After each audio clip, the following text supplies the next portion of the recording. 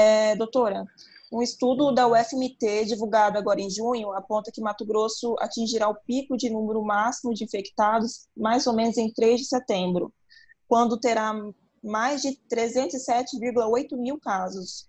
O pico da pandemia ainda está por vir ou o fechamento do comércio em Cuiabá e Várzea Grande deve barrar esse crescimento da curva de casos? É, eu, a gente não vai conseguir barrar, mas a gente vai conseguir melhorar.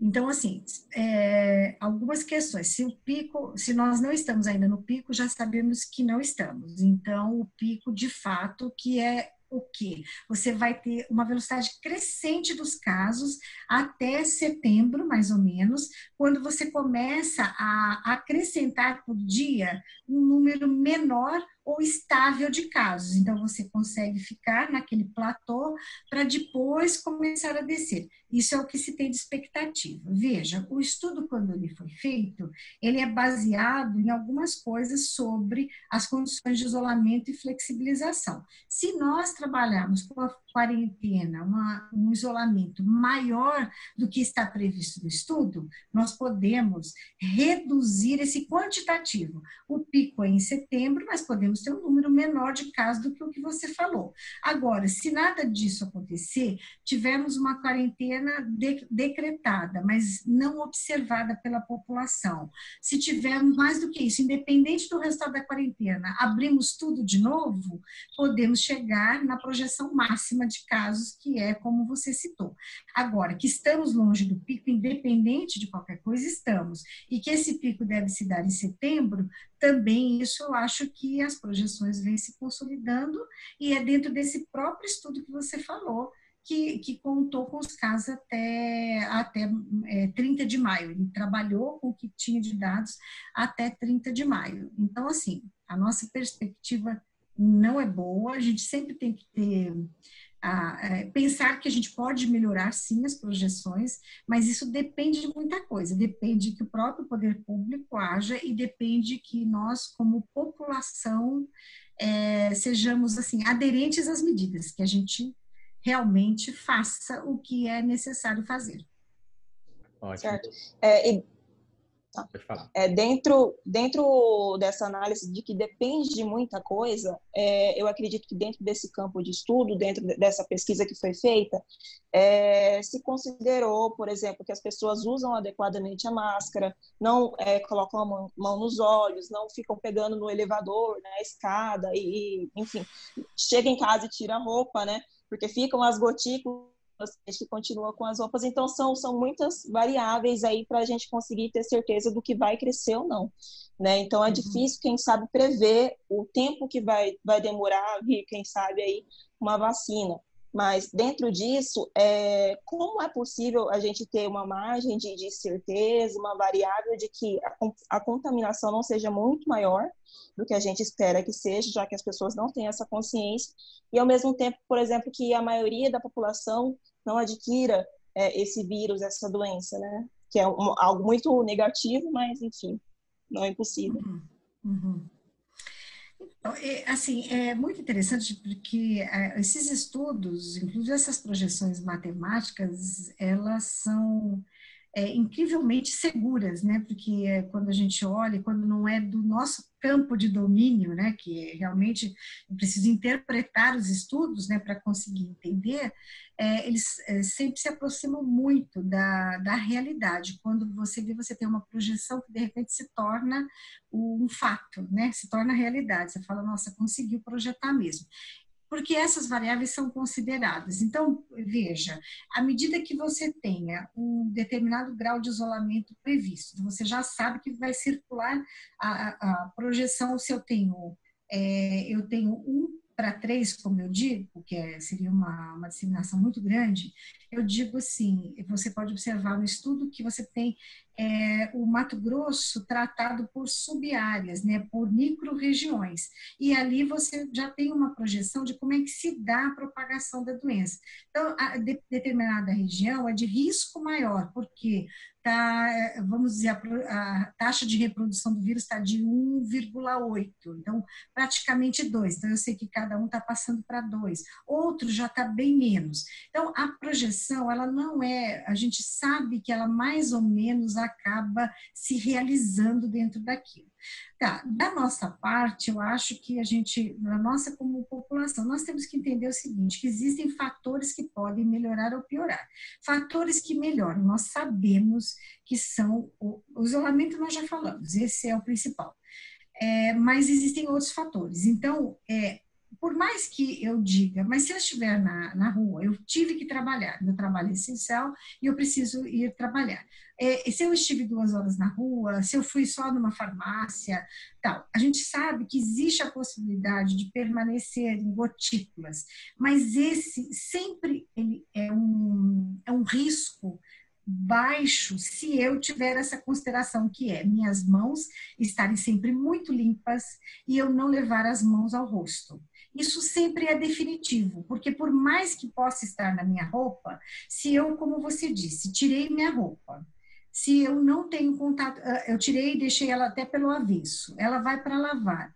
E se eu higienizei minhas mãos, cheguei em casa, tirei a máscara como eu devo tirar, aqui pelo elástico, já coloquei ela de molho. E se as minhas mãos vão ser lavadas, veja, não importa o que aconteceu lá, eu já não estou trazendo o vírus para dentro para mim, né, quer dizer, eu mesmo em contato e para as outras pessoas.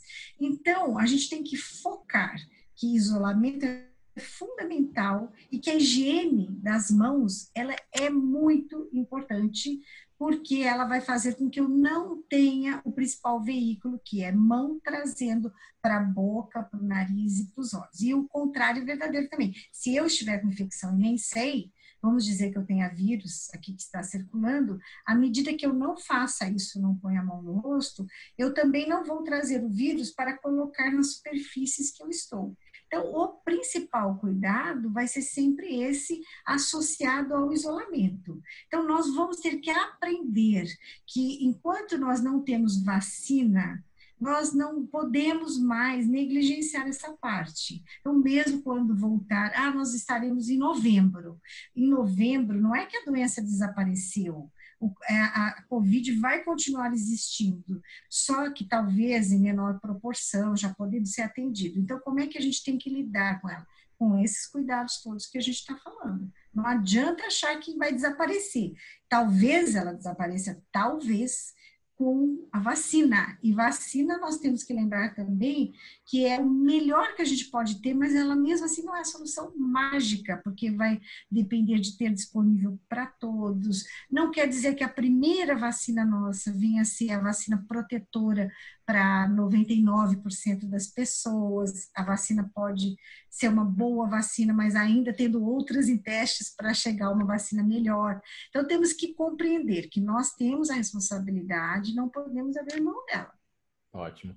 Doutora, a senhora falou da vacina, né, que é um grande sonho, a gente dorme e esperando acordar com, é. com essa notícia é, boa, né? A senhora destaca é, alguma é. pesquisa que está sendo desenvolvida em alguma, alguma parte do mundo, até mesmo no Brasil, que tem mais chances de ter um resultado positivo é, mais rápido?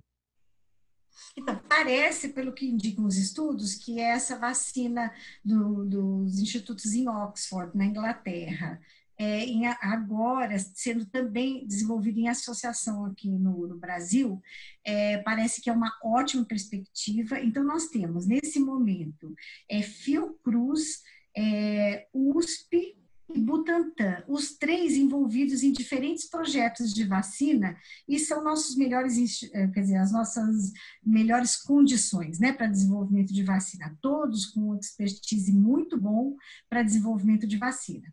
E ah, então é provável, dizem, né, que é mais provável que essa de Oxford venha a ser a primeira a ser ofertada, porque ela já está mais adiantada e tem se mostrado segura, porque a vacina, quando você vai testar uma vacina vacina sempre vai ser nessa tentativa de que, a, de que proteja, é, de uma forma que a pessoa produza seus anticorpos e não seja mais suscetível àquele vírus é, você pode ter a vacina num primeiro momento. Primeiro que você precisa ter uma produção, conseguir uma vacina segura, que ela possa ser testada em humanos, que já é o caso dessa que nós estamos falando. A partir do momento que ela vai ser testada, você vai ver o nível de proteção que ela confere, é, e depois ela tem que conseguir ser produzida em larga escala. E isso é uma coisa inédita para o mundo também, porque o mundo tem como recorde de produção de uma vacina cinco anos que já é uma loucura fazer uma vacina em cinco anos. Nós estamos falando em um ano e meio, dois anos, para ter uma vacina disponível para todos. Alguns falam em um ano. Então, seria um recorde absoluto. Então, nós podemos ter uma primeira, que talvez seja essa de Oxford, agora, né, junto com o Brasil, e que parece, e talvez ela venha conferir uma proteção suficiente, mas pode ser até que mesmo tendo essa vacina, a gente continue trabalhando com as outras, porque talvez as outras alcancem mais proteção, alguma coisa assim. Ótimo. Doutora, é, eu agradeço a senhora por ter é, aceito o convite do RD News para falar com, com, os nossos eleitores é, e também pela disponibilidade, né? Imagino que nesse período deve tá, estar bem, bem corrido. É, e eu deixo aí o, o, o final da entrevista para a senhora deixar um recado aí para os nossos leitores, principalmente para aqueles que ainda não acreditam na, na no perigo da Covid-19 e insistem é, é, em descumprir as recomendações e que acham que a vida está normal. Muito obrigado e, e a gente está sempre à disposição. Eu agradeço né, o convite para a participação. Eu espero que a gente, assim, nós, o que nós tentamos sempre é esclarecer é, as pessoas que nos veem, nos ouvem, de uma forma, trazer, colaborar um pouco numa situação que o que eu quero deixar como recado é que nós temos assim uma situação que assusta a todos nós, aqueles que estão é, à frente do trabalho mesmo, de um trabalho profissional, atuando como profissionais de saúde. Essa doença nos assusta e é completamente compreensível que a população se veja é, intimidada, assustada com o que ela vê. E, diante disso, ah, é também compreensível que haja uma ansiedade para se ter alguma solução. Mas, assim, o que eu posso dizer é que todos queremos soluções, mas as soluções mágicas, elas não existem. Nós gostaríamos que existissem, mas elas não existem. Então, diante disso, cabe a responsabilidade de quem indica tratamentos dizer a verdade, que não temos ainda esses medicamentos que sejam é, que sejam de fato eficazes para combater a doença, não temos, é, e termos a responsabilidade de entender que esta é uma doença que nós somos parte dela como pessoas, como população. Nós temos assim a nossa parte para fazer, para melhorar a condição da pandemia. E isso é o que? É, se, eu, se eu posso estar em casa, eu vou ficar em casa. Eu só vou sair se houver uma necessidade absoluta nesse momento. E lembrando sempre que para algumas pessoas nós podemos ter a opção é, de aderir ou não às orientações, ficar ou não em casa. Isso é uma é uma opção que eu espero que as pessoas entendam que devem ficar. Mas é muito triste a gente ver as pessoas que não têm opção, que elas estão nesse momento em unidades de emergência é, e precisam para agora um leito de UTI e essas pessoas não têm o leito de UTI. Então, elas morrem muitas vezes por falta de assistência, elas seriam tratadas dentro da doença, mas não conseguem mais porque não tem leitos. Essa pessoa não tem opção. Então, para quem tem opção de ficar em casa, por favor, fique em casa.